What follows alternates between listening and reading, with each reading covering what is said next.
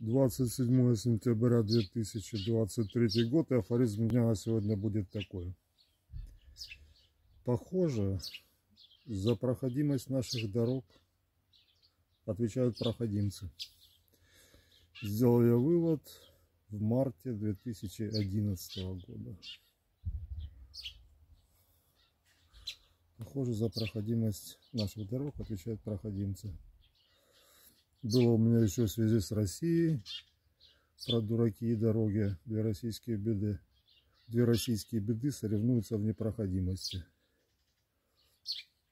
Еще была беда не в дураках и дорогах, а в дураках, прокладывающих себе дорогу.